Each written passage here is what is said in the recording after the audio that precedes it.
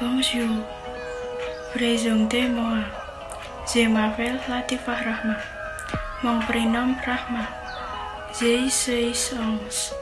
J'habite à Senden-Ngawen. Je suis lycéen de BCD. Je suis musulmane. Je suis indonésienne. Je suis le premier enfant. Merci. Au revoir.